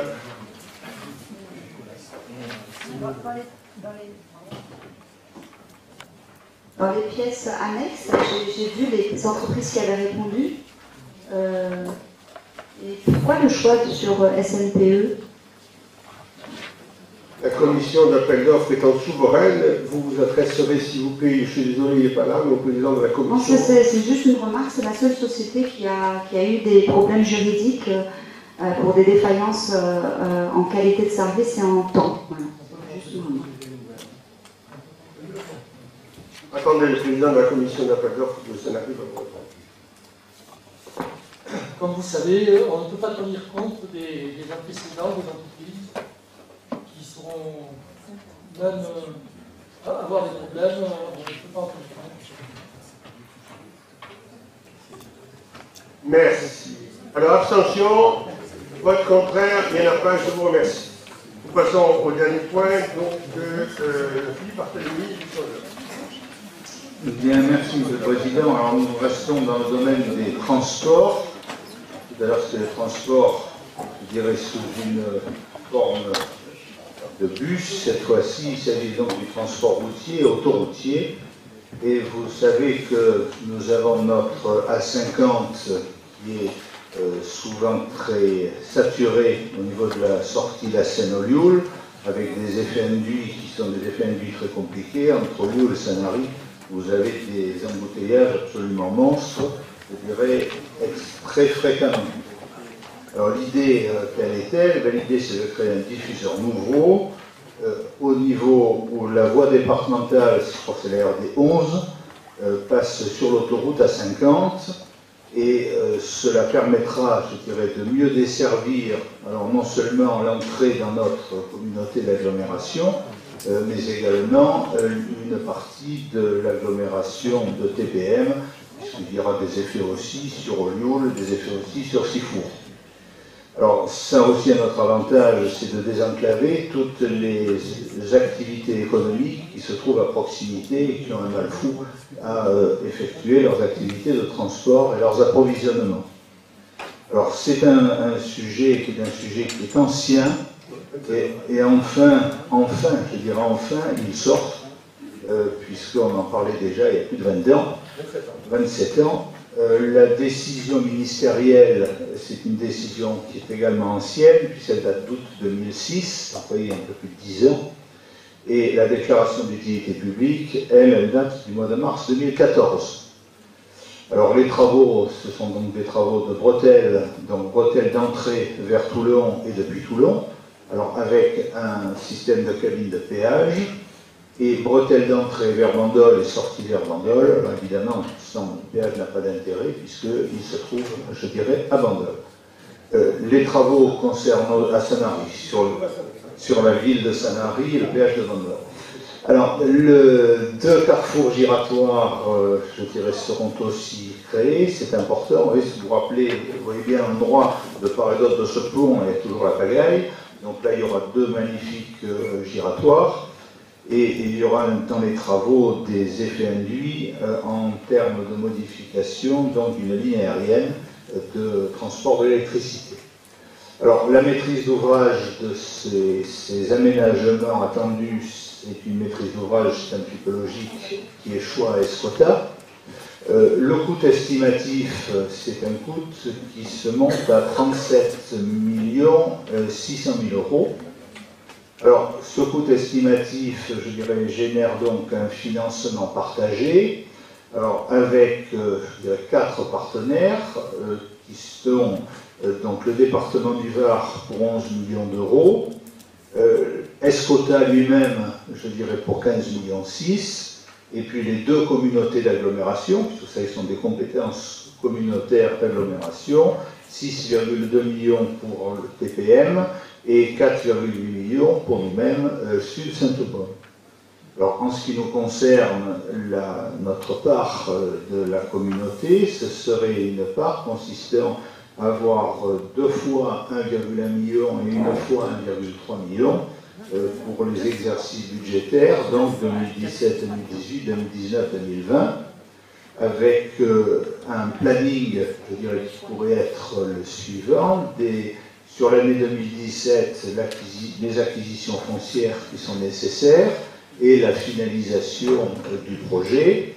2018-2019, les travaux et l'ouverture euh, à la circulation à la fin de l'année 2019. vous voyez que c'est un, sujet un sujet qui est vraiment important, qui va avoir un certain nombre de retombées, des retombées favorables sur euh, la circulation et surtout, je pense, souvent on le néglige, mais sur euh, les aspects économiques. Je crois que les activités économiques de tout cet environnement ne pourront qu'être boostées, je dirais, par euh, un investissement de cette nature. Voilà donc le sens de cette délibération qui consiste à simplement autoriser Monsieur le Président à signer les conventions idoines avec Escota, avec le département et avec le TPM. Voilà, Monsieur le Président, les éléments de ce dossier, je dirais, qui voit, je dirais enfin, je dirais, après ces 27 ans, vous vous rappeliez tout à l'heure, je dirais enfin le bout, alors pas du tunnel, mais en tout cas de la bretelle. Voilà, merci.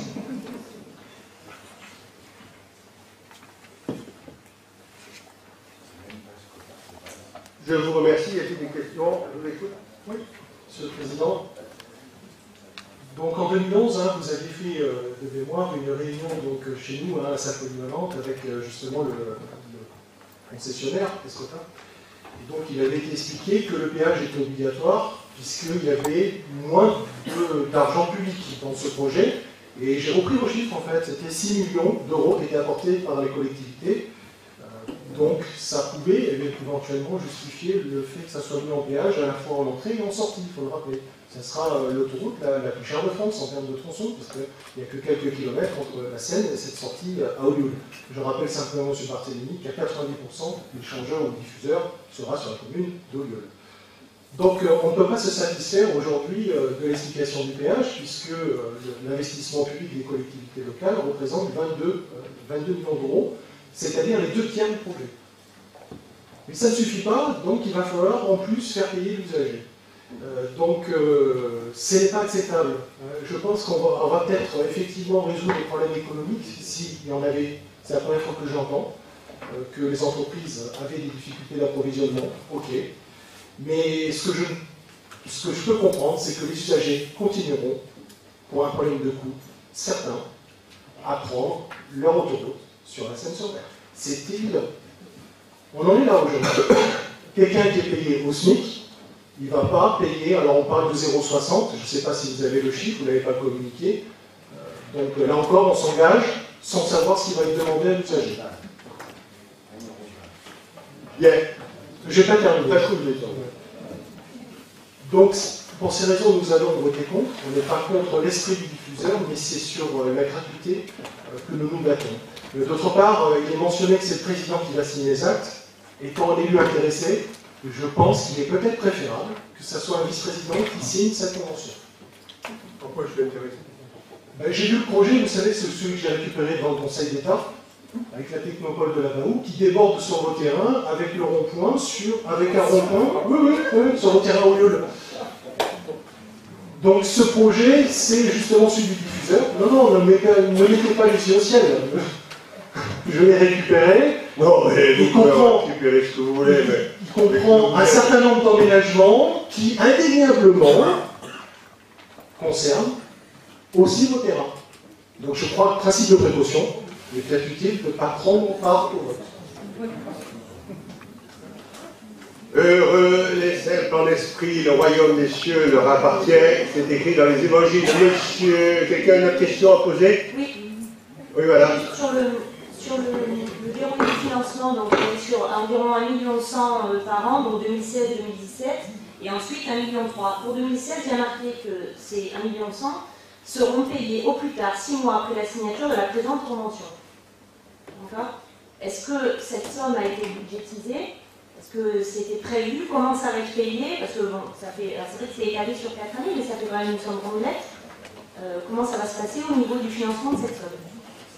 Encore un peu de temps et vous ne saurez pas. Encore un peu de temps et vous saurez, madame.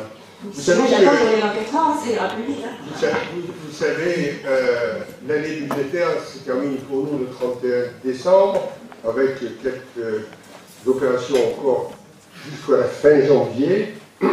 Et donc, euh, nous travaillons au mieux. Je, je vous remercie d'avoir noté que notre communauté payerait moins que notre communauté. C'est gentil d'avoir noté. Et euh, enfin, je voulais vous dire une chose assez simple.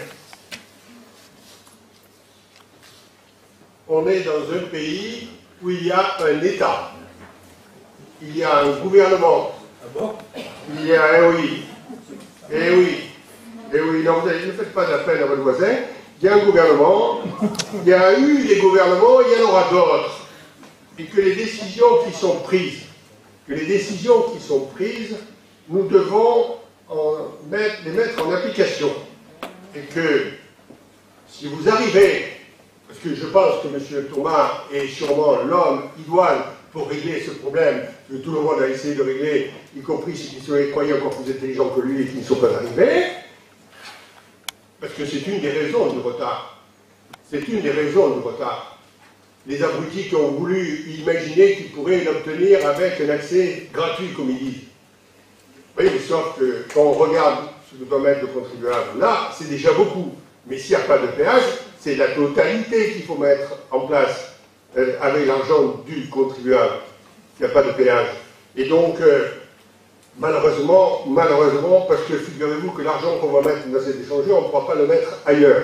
Et que donc, euh, je, si on avait pu avoir un échangeur sans péage, Dieu que nous aurions été contents nous aussi. Mais ça fait toujours bien de dire, moi je suis le défenseur de la gratuité. Et qu'est-ce que tu fais pour défendre? Tu vas te faire brûler, tu vas t'immoler? Non, tu parles, tu parles, tu vas boire, et c'est tout ce que tu sais faire. Et donc, euh, et donc, euh, et Vous donc, euh, tutoyez là, il faut se calmer, hein, vous franchement, vous perdez les pédales. Vous pourriez parler calmement sans le tutoyer, ce serait bien plus élégant. Ah mais je ne vous parle pas, madame.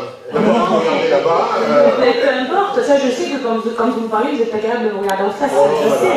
Et si vous pouviez au moins utiliser le vouvoiement et faire preuve d'un peu d'élégance, pour une fois, ça change. Non, non, mais je ne m'adresse pas à vous, madame, ne vous inquiétez pas, je ne je me rappelle même plus ce que vous avez dit, c'est vous dire. Mais, alors en plus, franchement, en plus, franchement, euh, je ne pensais pas, je pensais à ceux qui, il y a 7-8 ans, avaient, euh, sont venus me voir un jour en me disant, écoute, on va, on va faire un, échangeur sans péage. J'aurais dit, excusez-moi, je vais être un peu brutal, j'aurais dit, malgré euh, le rôle qu'ils avaient dans ce département, j'aurais dit que c'était une connerie. Et, et- et effectivement, donc euh, est reparti dans ses calculs, et le temps passe, le temps passe, le temps passe, et les mêmes un jour sont venus me voir en me disant Ah tu sais, finalement, euh, eh ben, on va être obligé de faire un péage.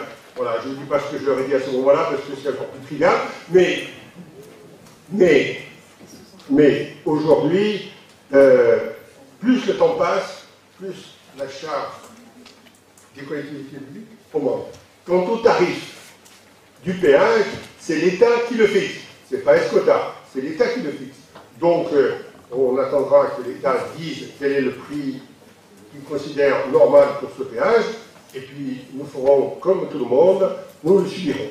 Voilà, je vous Je demande... voudrais simplement vous répondre, M. Barras, Oui, il y a pas de financement. Je pense que vous auriez dû peut-être décrocher le téléphone, appeler M. Berfalco pour savoir comment il avait obtenu la gratuité du second tour.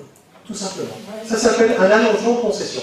Alors, vous- non, mais attendez, parce que vous croyez. Non, mais attendez. Alors, voilà un homme qui croit que nous, on- il nous manque beaucoup, beaucoup, beaucoup de neurones et qu'on ne réfléchit pas et qu'on ne s'interroge pas. Vous croyez qu'à la seconde, même avant, avant, d'abord, c'est pas la gratuité. Je, suis navré. Alors là, vous voyez, encore un mot utilisé à tort et à travers. C'est pas la gratuité. Pas du tout. Il n'a pas obtenu la gratuité. Il a obtenu que ce soit les usagers qui prennent le péage de Bandol ou de Puget-Ville, ce soit eux qui le payent. C'est-à-dire que Escota a obtenu euh, une prolongation de sa concession, donc des recettes sur les autres péages, pour faire. D'ailleurs, c'est pas Belco, c'est et le département, et la région, et l'État, et tout le monde. Et il a obtenu cela. Et vous croyez qu'à ce moment-là, vous croyez qu'à ce moment-là, je n'ai pas pris mon téléphone, que je ne me suis pas déplacé. Évidemment, le, président de la communauté ou le maire de la commune, il travaille que le jour de la séance du conseil municipal, le reste du temps, il bouffe des croissants et, des petits fours. Non, mais franchement, vous croyez qu'on l'a pas fait? Vous croyez que je ne me suis pas euh, posé cette question? Vous croyez que je n'ai pas essayé? Vous croyez que les services du département n'ont pas essayé? Vous croyez que la région n'a pas essayé? Mais tout le monde pousse dans le même sens dans cette histoire-là. Seulement, seulement, quand vous voyez le montage, comment il a été fait, le temps qu'il a fallu pour faire admettre que les choses, la traversée souterraine de Toulon, la traversée souterraine de Toulon, le deuxième tube, il soit pris en charge par Escota, vous comprendrez que c'est un peu plus difficile que de blablater ici en séance du français. Et, et, et je rajoute, et je rajoute, que quand on voit à Marseille, la traversée souterraine de Marseille, il y a un péage. Et quand vous voulez traverser Marseille pour aller à l'aéroport, ben vous le prenez le péage, qu'il soit cher ou pas cher, vous le prenez. Et nous, on a voulu faire une soi-disant euh, traversée souterraine de Toulon. Je dis nous parce que ça fait un peu de temps que je suis au conseil départemental, je suis même le plus ancien, si je ne pas le plus vieux. Il y a belle lurette que je leur avais dit, il y a belle lurette que je leur avais dit, on fait un péage, au moins on est sûr que ça sera fait dans les délais. On n'a pas voulu le faire. Vous savez ce que m'a répondu le préfet quand je lui ai proposé? Ah, il me dit, vous vous c'était il y a 15 ans, hein. Au moins. Il me dit, vous vous rendez pas compte, ça prendrait, ça mettrait le tunnel en retard. Tu parles Si ça l'a mis en retard, si c'est ça qui l'a mis en retard. Seulement, je vais reprendre ce que j'ai lu hier euh, de M. Chirac. il a eu cette phrase merveilleuse il y a quelques années. Il a dit dans ce pays, on fait des greffes d'oreilles, on fait des greffes de cœur, on fait des greffes de poumons, mais on ne fait pas des greffes de couilles parce qu'on en manque dans ce pays de l'honneur. Voilà. La séance qui est contre. Attention, contre, je vous remercie. Attendez, contre, contre règles. Contre. Abstention, je vous remercie. La séance est levée.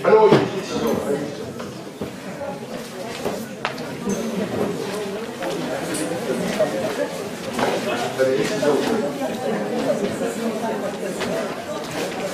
y a-t-il des questions sur les décisions, s'il vous plaît Il n'y en a pas, je vous remercie. Nous avons adopté le PV de la séance dernière. Non, s'il vous plaît, je voudrais faire modifier, modifier le vote sur une délibération, puisqu'il y a marqué que j'ai voté pour, alors que vous savez pertinemment que j'étais contre euh, cette délibération, et que j'ai même été obligée de me lever et de prendre le micro pour pouvoir prendre la parole. Donc si je pouvais avoir une correction que mon vote soit enregistré Avec bonheur, madame. Avec bonheur.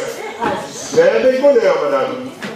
Si jamais on aura plus de mal à marquer un jour que vous avez été voté pour, parce que vous êtes toujours contre. Non.